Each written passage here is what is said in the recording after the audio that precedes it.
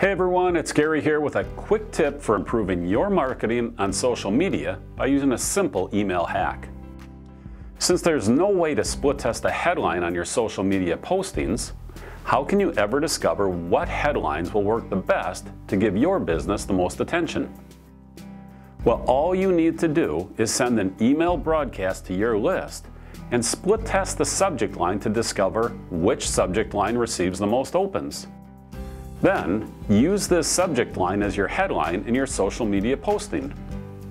Now, obviously you're not going through this effort for every comment made, but if you take the time and effort to write a great article, you should give the headline the additional effort needed to get people to read your great article. Now I know what you're thinking, split testing takes a lot of time and effort. And while that's true for others, if you're using the CloudNet 360 CRM with its industry exclusive point and click simple split testing, you can easily split test two, three, four, five, or more subject lines to become a smarter marketer on social media and to your internal prospect and customer list. Just one more way CloudNet 360 helps you sell more, faster.